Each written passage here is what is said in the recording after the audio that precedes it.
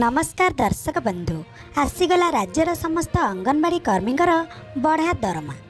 ଯାହାକି ଓଡ଼ିଶାର ଅଙ୍ଗନବାଡ଼ି କର୍ମୀ ମିନି ଅଙ୍ଗନବାଡ଼ି କର୍ମୀ ଏବଂ ସହାୟିକା ଭଉଣୀମାନଙ୍କର ବଢ଼ା ଦରମା ଆସିଯାଇଛି। ଯାହାକି ରାଜ୍ୟ ସରକାର ଆଜି ରିଲିଜ୍ କରିଛନ୍ତି ଏହି ବଢ଼ା ଦରମା। ତେବେ ରାଜ୍ୟ ସରକାର କାହାର କେତେ ଟଙ୍କା ଦରମା ଛାଡ଼ିଛନ୍ତି ଆସନ୍ତୁ ସମ୍ପୂର୍ଣ୍ଣ ଅପଡ଼େଟ୍ ଖବର ଏହି ଭିଡ଼ିଓରେ ଜାଣିବା। ବାସ୍ ତା ପୂର୍ବରୁ ଭିଡ଼ିଓକୁ ଗୋଟେ ଲାଇକ୍ କରନ୍ତୁ। ଚ୍ୟାନେଲକୁ ସବସ୍କ୍ରାଇବ୍ କରିନଥିଲେ ଏବେ ସବସ୍କ୍ରାଇବ୍ କରି ପାଖରେ ଥିବା ଘଣ୍ଟି ଚିହ୍ନକୁ ଦବାଇ ଦିଅନ୍ତୁ। ଯାହାଫଳରେ ଏହିପରି ଅଙ୍ଗନବାଡ଼ିର ଟିକନିକି ଅପଡ଼େଟ୍ ଖବର ଆପଣମାନେ ସର୍ବପ୍ରଥମେ ଜାଣିବାକୁ ପାଇବେ। ତେବେ ଏବେ ଏବେ ଏକ ବଡ଼ ଖୁସି ଖବର ଦେଇଛନ୍ତି ରାଜ୍ୟ ସରକାର। ଯାହାକି ଚାରି ମାସର ଦରମା ଆସିଥିବା ସୂଚନା ଥିଲା।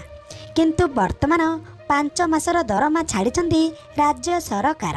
ତେବେ ଆପଣଙ୍କର ମୋବାଇଲକୁ ମେସେଜ୍ ଆସିନାହିଁ ଯଦି ତେବେ ଆପଣମାନେ ନିଜର ବ୍ୟାଙ୍କକୁ ଯାଇ ମଧ୍ୟ ନିଜର ପାସବୁକ୍କୁ ଅପଡ଼େଟ୍ କରି ନିଅନ୍ତୁ।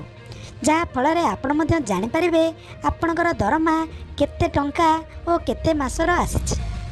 ତେବେ ମୁଖ୍ୟ ଅଙ୍ଗନବାଡ଼ି କର୍ମୀ ଭଉଣୀମାନଙ୍କର ବାର ହଜାର ପାଞ୍ଚଶହ ଟଙ୍କା ଦରମା ଆସିଛି। ମିନି ଅଙ୍ଗନବାଡ଼ି କର୍ମୀ ଭଉଣୀମାନଙ୍କର ଦରମା ନଅ ହଜାର ଛଅଶହ ଟଙ୍କା ଆସିଛି। ଏବଂ ସହାୟିକା ଭଉଣୀମାନଙ୍କର ଦରମା ଛଅ ହଜାର ଶହେ ଅଠଷଠି ଟଙ୍କା ଆସିଛି। ତେବେ ଆପଣଙ୍କର ଦରମା ଏହିପରି ଭାବରେ ବୃଦ୍ଧି କରିଛନ୍ତି ରାଜ୍ୟ ସରକାର। ଯାହାକି ସରକାର ପୂର୍ବରୁ ଚାରି ମାସର ଦରମା ଦେବା ପାଇଁ ଘୋଷଣା କରିଥିଲେ।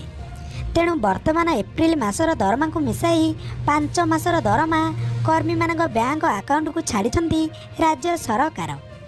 ଯାହାକି ଆପଣଙ୍କ ପାଇଁ ବଡ଼ ଖୁସି ଖବର। ତେଣୁ ଏବେ ଏପ୍ରିଲ ମାସର ବଢ଼ା ଦରମା ଛାଡ଼ି ଦେଇଛନ୍ତି ରାଜ୍ୟ ସରକାର।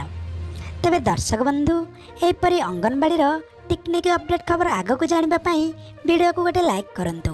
ଚ୍ୟାନେଲକୁ ସବସ୍କ୍ରାଇବ୍ କରିନଥିଲେ ଏବେ ସବସ୍କ୍ରାଇବ୍ କରି ପାଖରେ ଥିବା ବେଲ୍ ଆଇକନ୍କୁ ଦବାଇ ରଖନ୍ତୁ।